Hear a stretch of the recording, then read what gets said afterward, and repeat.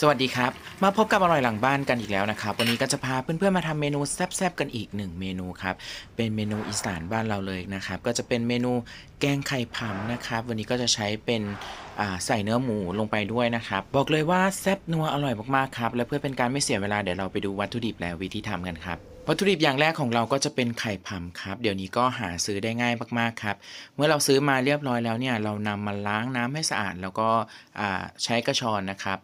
เสด็จน้ำไว้แบบนี้เลยนะครับ ต่อไปก็จะเป็นเครื่องแกงของเราเลยครับ ก็จะมีพริกแห้งนะครับ ตะไคร้แล้วก็หอมแดง 3 อย่างนี้นะครับ แล้วก็จะใส่เนื้อสัตว์เป็นเนื้อหมูครับ ก็หั่นเป็นชิ้นเล็ก ๆ นะครับ ไม่ต้องชิ้นใหญ่มาก ตามด้วยผักโรยในขั้นตอนสุดท้ายก็มีใบมะกรูด แล้วก็ใบแมงลักหรือผักอีตู่บ้านเรานะครับ ขั้นตอนต่อไปเราไปลงมือทำกันเลย ก็นำพริกแห้งของเราเนี่ยมาตำให้ละเอียดก่อนครับ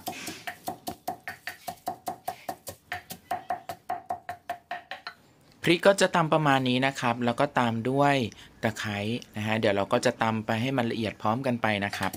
ใส่ตะไคร้ลงไปตะไคร้ผมก็ใช้อยู่ที่ประมาณ 1 ต้นครับ ในส่วนของพริกแล้วก็ตะไคร้เนี่ยก็ตำให้ละเอียดเลยนะครับ เราจะได้มีอรรถรสในการกินในส่วนของเศษตะไคร้มันจะได้ไม่ติดคอนะครับตำพริกแล้วก็ตะไคร้ละเอียดเรียบร้อยก็ตามด้วยหอมแดงเลย เพียงเท่านี้ก็เสร็จเรียบร้อยแล้วนะครับอ่าขั้นตอนต่อไปเดี๋ยวเราไปเริ่มลงมือทำอ่า กันอีกขั้นตอนหนึ่งก็นำพริกที่เราตามลงไปเมื่อกี้เนี่ยใส่ลงไปในหม้อหรือกระทะของเรานะครับ จากนั้นเราก็ติดแก๊สระดับไฟที่เราใช้ต้องเป็นไฟอ่อนเลยนะครับ เพื่อนๆขั้นตอนนี้เราก็จะผัดหรือคั่วให้มันหอมไปก่อนนะครับนี่เลยผัดแค่พอกลิ่นมันฉุนขึ้นมานะครับ แล้วก็ตามด้วยหมูเลยนะครับ ในส่วนของหมูเนี่ยก็คั่วไฟอ่อนเหมือนกันครับนะคั่วไฟอ่อนแล้วก็คั่วจนหมูของเราเนี่ยสุกเลยนะครับ สักประมาณ 80-90%ได้เลยครับ ประมาณนี้นะครับเพื่อนๆนี่เลย ตามด้วย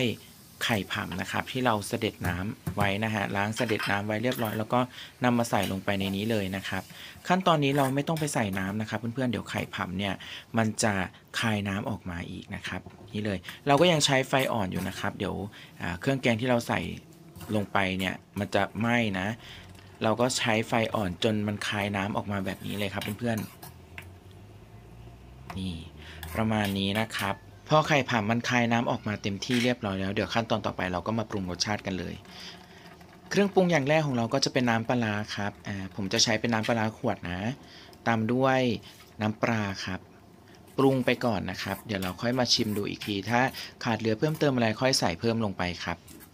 นี่เลยคลุกเคล้าให้เข้ากันครับ เพียงเท่านี้นะฮะใครอยากใส่ผงชูผงปรุงก็สามารถใส่ได้เลยนะครับ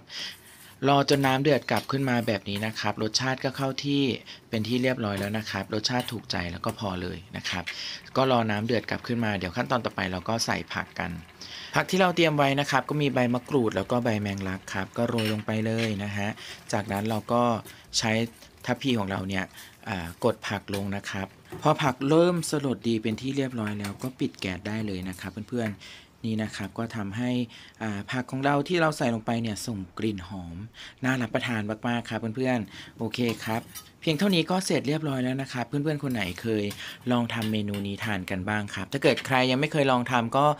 ลองนำไปทำตามกันดูได้เลยนะครับ แซ่บๆนัวๆ อร่อยมากๆ ครับ ถ้าอีสานบ้านเรานะครับ ก็ทานคู่กับข้าวเหนียวร้อนๆนะครับ บอกเลยว่าแซ่บครับ และถ้าหากใครชอบคลิปนี้ก็อย่าลืมกดไลค์ กดแชร์ กด Subscribe หรือกดกระดิ่งเพื่อไม่พลาดคลิปต่อไปของทางช่องด้วยนะครับ แล้วไว้เจอกันใหม่คลิปหน้าเมนูหน้าสำหรับวันนี้ต้องขอตัวลาไปก่อนแล้ว